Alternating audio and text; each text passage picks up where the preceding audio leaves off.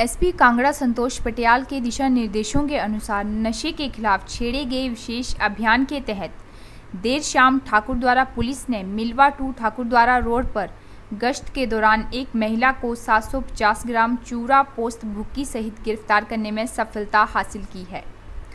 मामले के संदर्भ में जानकारी देते हुए एसडीपीओ नूरपुर नवदीप सिंह ने बताया कि उन्हें लगातार सूचनाएँ मिल रही थी। कि मिलवा गाँव के आसपास कुछ महिलाएँ भुक्की और अन्य नशीले पदार्थों की तस्करी का काम कर रही हैं, जिसके चलते पुलिस लगातार ऐसे लोगों पर नज़र रखे हुए थी। वहीं पुलिस को फिर से सूचना मिली कि एक महिला नशीले पदार्थों की तस्करी करने मिलवा टू ठाकुर द्वारा रोड की ओर जा रही है, जिस पर तुरंत कार्रवाई करने हेतु ठाकुर द्वारा पुलिस चौकी के प्रभारी सुरेंद्र सिंह राणा ने अपनी पुलिस पार्टी टीम सहित ठाकुर द्वारा टू मिलवा रोड पर गश्त जारी रखने के आदेश दिए। पुलिस टीम जब इस रोड पर गश्त कर रही थी तो एक महिला मिलवा गाँव की तरफ़ से ठाकुर द्वारा रोड पर पैदल आ रही थी और उसके हाथ में एक प्लास्टिक का लिफाफा था। जब वो महिला मिलवा मोड़ स्थित प्राइमरी स्कूल के पास पहुँची तो सामने गश्त कर रही पुलिस को देखकर पीछे मुड़कर भागने की कोशिश करने लगी। लेकिन पुलिस ने उसके भागने की कोशिश को विफल करते हुए धर दबोचा और महिला आरक्षी द्वारा हाथ में पकड़े पॉलीथीन की तलाशी लेने पर उसमें 750 ग्राम भुक्की बरामद हुई।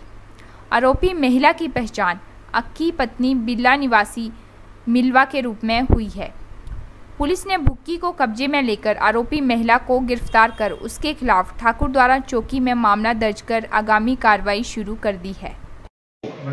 हम पुलिस पर मैं अपनी पुलिस पार्टी के साथ मेरवा में गश्त पर था, क्योंकि आजकल जो हमारा एनडीबीएस और एक्साई का अभियान चला हुआ है, मुताबिक देश अफसरान वाला, खासकर हमारे संतोष पटेल जी ने देश निर्देश दिए हैं कि जैसे जगह जगह ये सूचना मिल रही है कि बच्चे चिट्टा पी रहे हैं, भूखी खा रहे हैं और नशा कर रहे हैं।